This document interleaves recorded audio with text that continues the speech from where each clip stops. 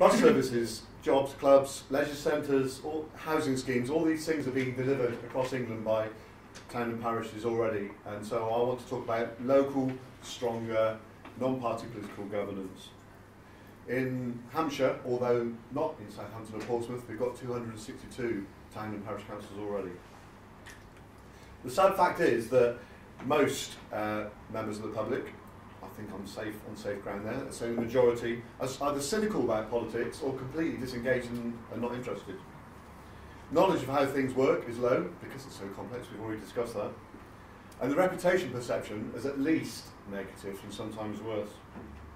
Membership of political parties is even more of a minority sport than going to church, and it's unusual for a councillor to vote against party lines. It's tricky, trust me. That's another life I have. Um, none of these factors support a healthy democracy. Two core issues are the centralist nature of government in this country and the lack of real engagement with vast swathes of the community by layers of government, both local and central. And we talked about simplification, we'll get there in a minute. Strategically, we need a complete overhaul of local government structure, of a new deal between local and central, and proper financing, because that's sadly lacking, and that was a, a chance missed with the Localism Act 2011.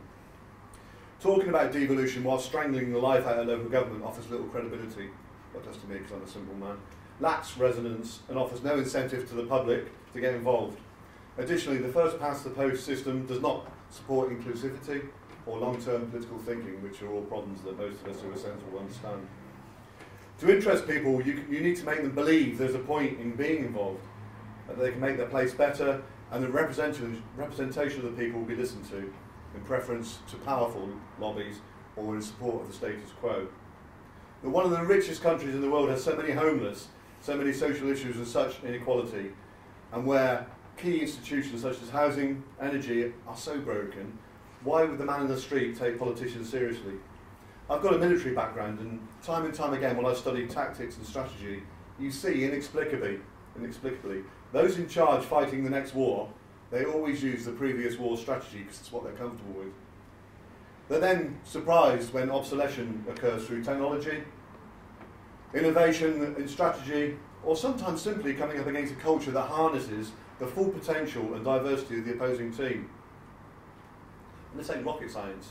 You won't be surprised that the same applies to local and central government. So what are some of the barriers in local government? Managers instead of leaders is one. Technically competent, so promoted into a role which they will perform safely, without risk. But whatever business, even if it's a social business, ever needed this kind of person as a leader hmm. or as chief exec. Another is action following the constraints of finance, with each authority stuck in their own psychological prison, rather than finding solutions and removing the barriers to implementation.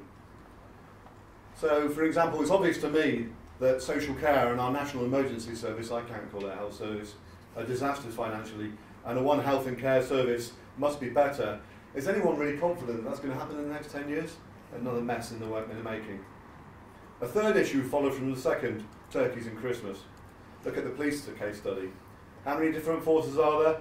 Many, and most actually, with communication systems that can't even talk and link across county borders. Could you make that up, really?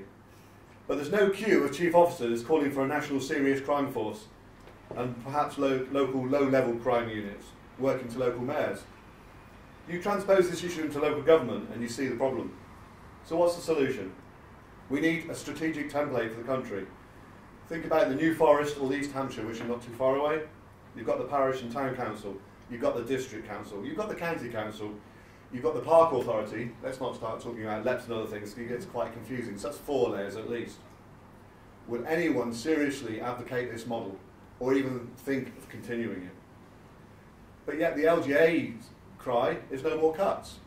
We need complete redesign and we actually need to strip away the layers. I think we need one layer of strategic authority at sub-regional level. I don't need a regional authority. So we need a strategic authority that are delivering the bins and doing those essential things that we need. And then we need community authorities. They can be as diverse as you like. Even at the moment, Shrewsbury, 80,000 people, tiny parish in Hampshire, 100 people. It doesn't matter. That diversity is key. Let. So don't give it duties, give it a general power. Let it raise the taxes community wants.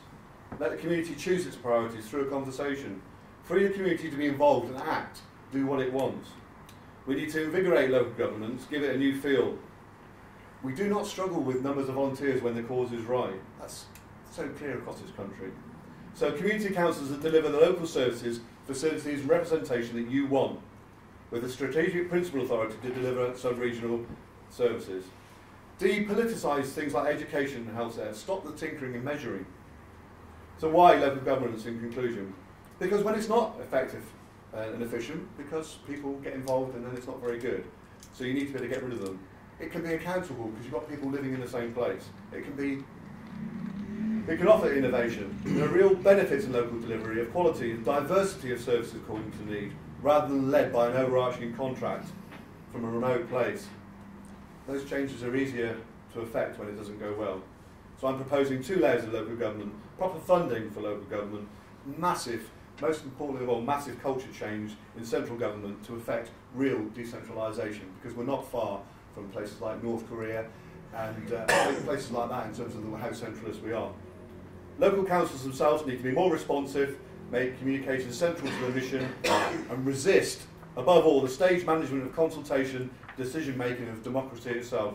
Let's remove the barriers, more non-party political local governance, where people choose their own tax levels and the services, facilities and representation they want to pay for.